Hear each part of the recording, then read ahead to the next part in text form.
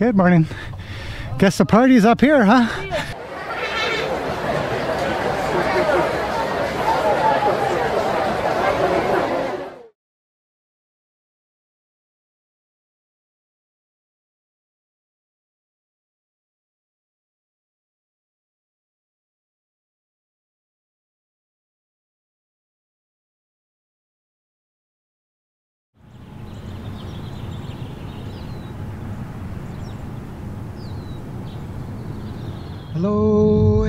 Everybody. How are you all doing?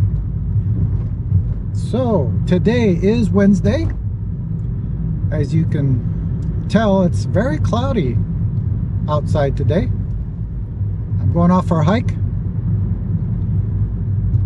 I'm going to a place I've been to before, at least the area. It's called Fremont Open Space Preserve, I believe. Now I haven't been on this uh, particular hike, but it's very close to my house. I think it's around 15 minutes. And since my teacher's been here visiting us, I didn't want to be away too long. I just have one quick announcement. Most of you already know this, but for those who don't, I want to let you know now that we're having a free online workshop on the 10 ox herding pictures. That's going to be Saturday, June 3rd at 10 a.m. Pacific time. Now I just opened up the registration yesterday and already 26 people have signed up. Usually on my workshops, I kind of cap it off at 30. The reason for that is we meet on Zoom and I want it to be kind of an intimate experience so I didn't want it to be too large. But we already have 26 people signed up, so I'm thinking of going to 50. 50 people cap. Because also, um, people who register, not everybody shows up. So I think I'm going to cap it at 50. So I'm letting you know now, if you want to join this free workshop, uh, I'm going to put a link down below to the registration. So go ahead and sign up for that. If you're not able to go to the workshop, or perhaps the registration fills up, I will have the recording in the Patreon community. So if you are supporting on the Patreon community, you'll have free access to the recording of that event. Again, the workshop's free for everyone, uh, but the recording will be for the Patreons. The reason why I have Patreon is to help support my project, to help support this YouTube channel. Uh, there's a lot of time and energy and also money that goes into this project. So if you want to help support so we can continue this, you can join Patreon. That link is also down below. It looks very beautiful out. I'm heading towards the hills right now. Maybe I'll give you a quick view.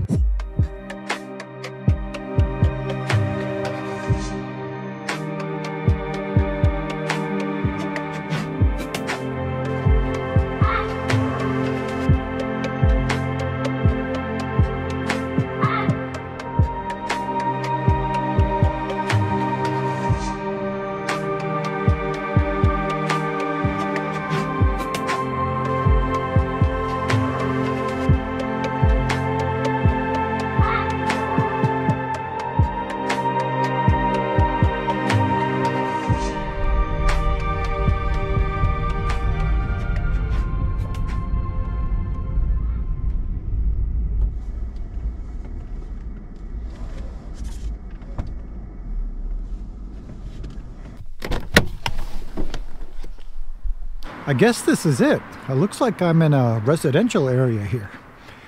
Um, far as I know, this goes to one of the peaks on the hills.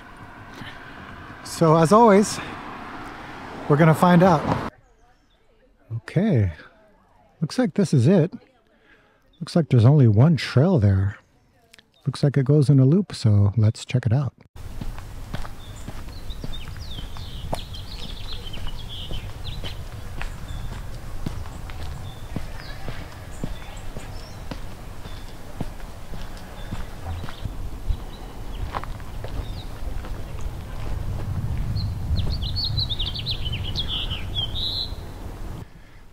Like I'm in somebody's backyard. this could be interesting.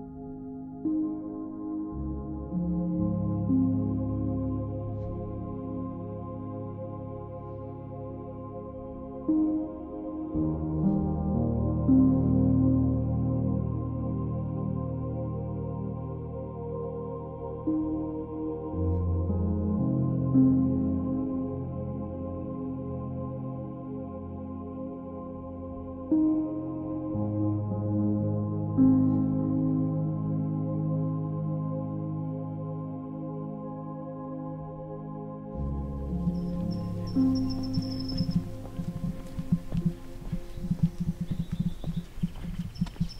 get a little bit of nature, a little bit of suburban life.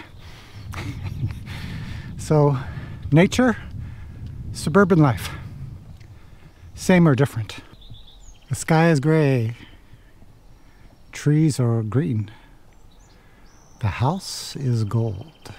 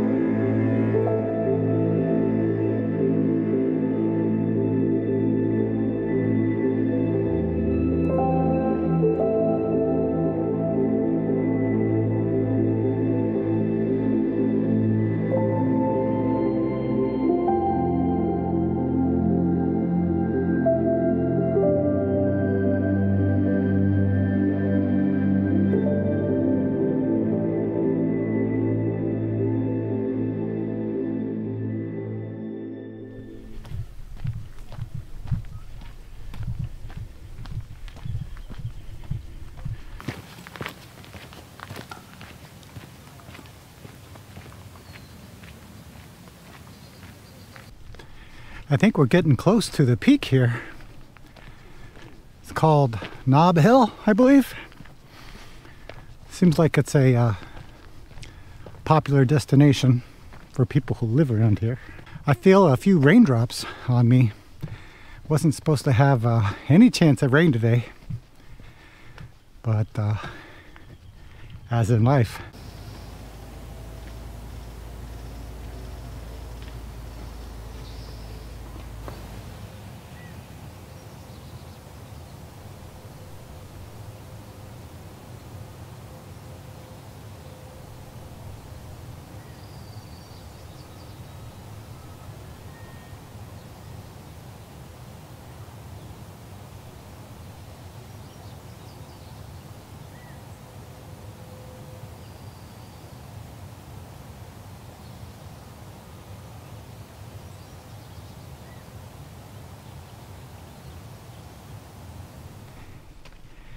Think we're getting close. I don't know if it's if I'm out of shape or maybe I haven't done this in a while. uh, I kind of feel like this hike is kicking me in the ass. I think we're almost at the top here.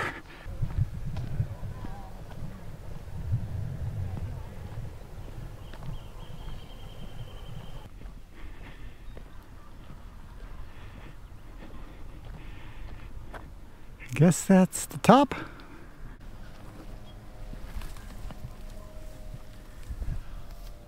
Nob Hill. I guess that's the peak up there. Sounds like there's a party up there. Let's go check it out.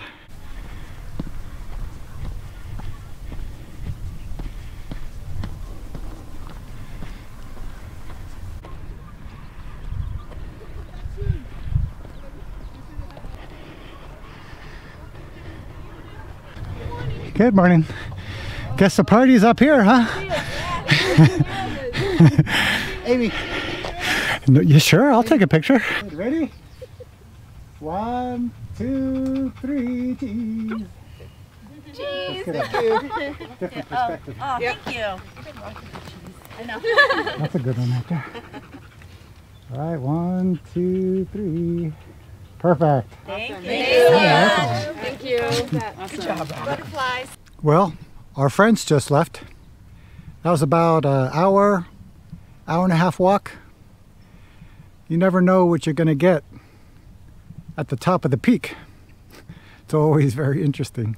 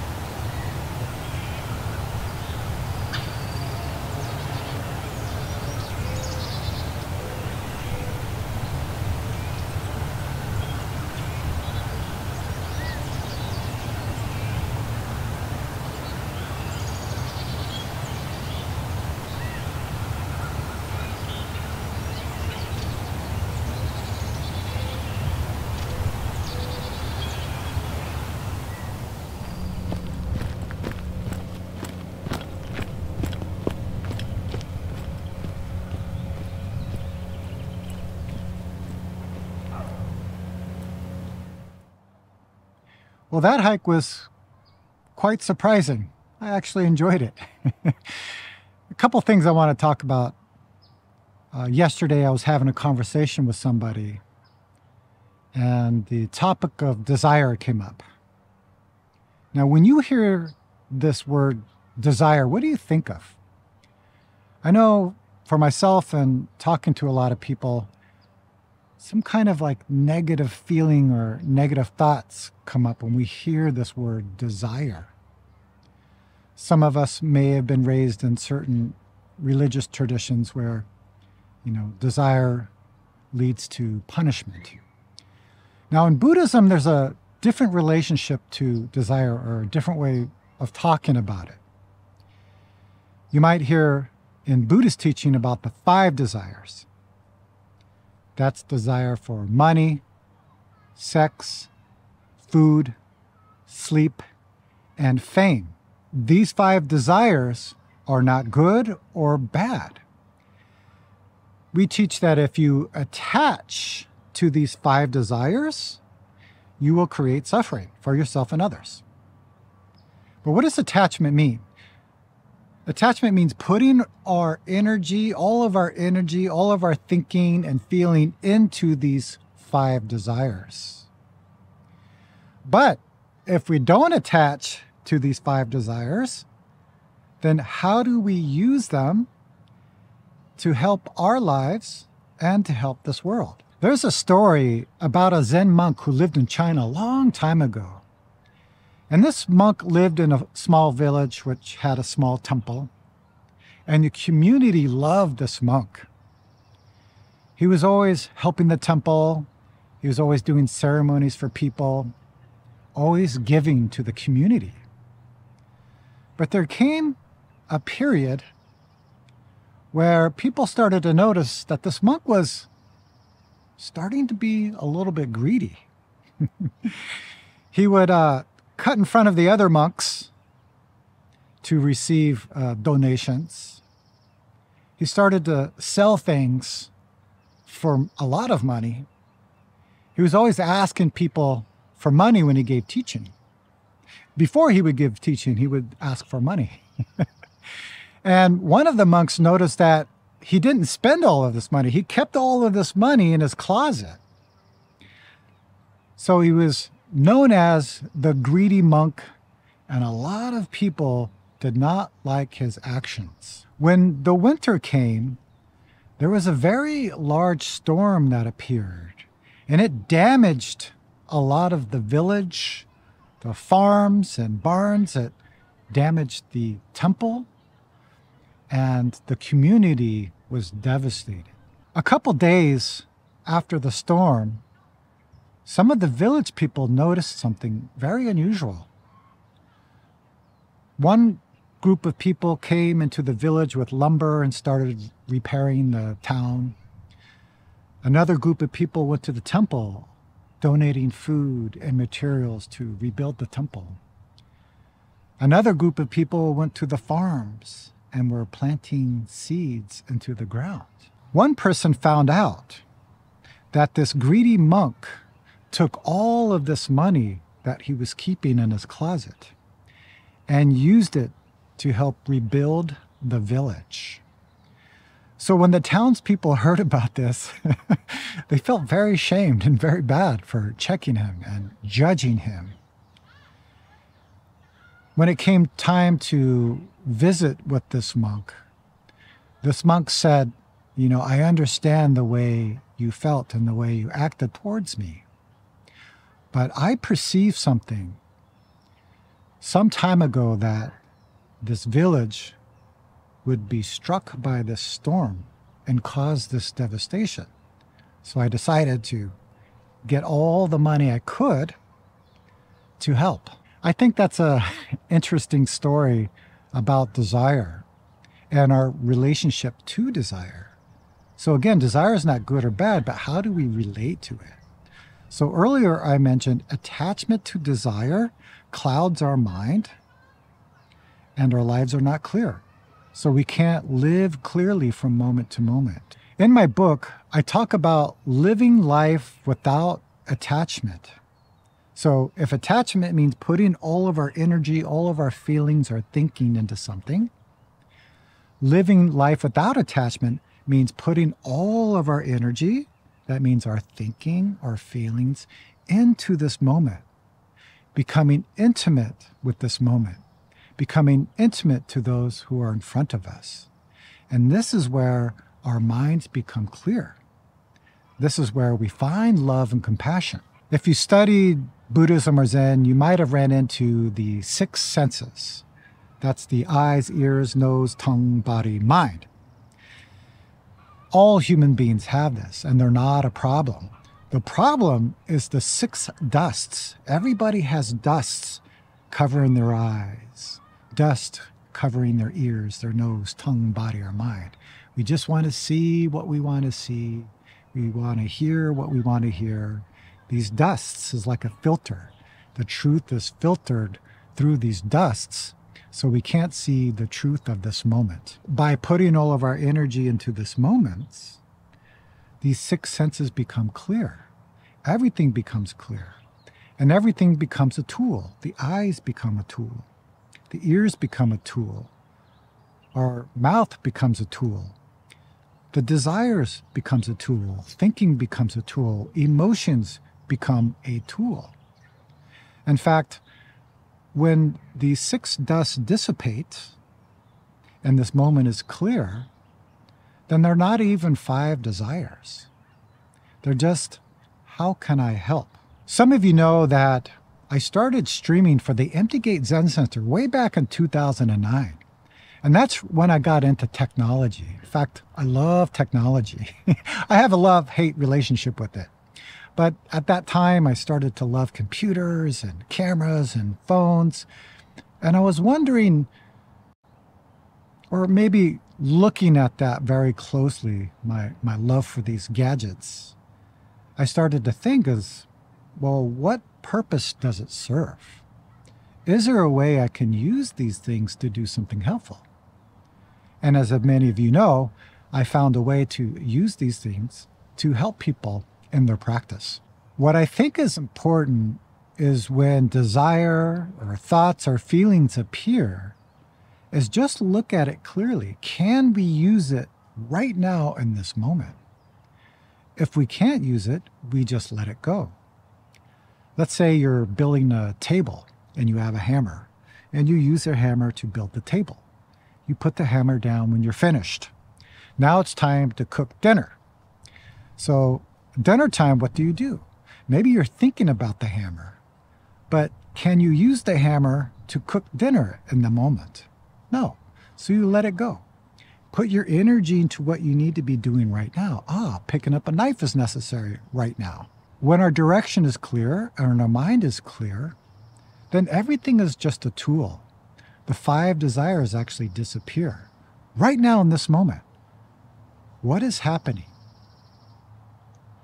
How can I use what's available to connect intimately with this moment and respond with love and compassion. Those are my thoughts for the day. Let me know in the comments what you think about all of this. And if you want to share something about desire or thinking or feeling when it appears, how do you relate to it and how do you use it? All right, everyone, I hope you enjoyed this video and I will see you very soon.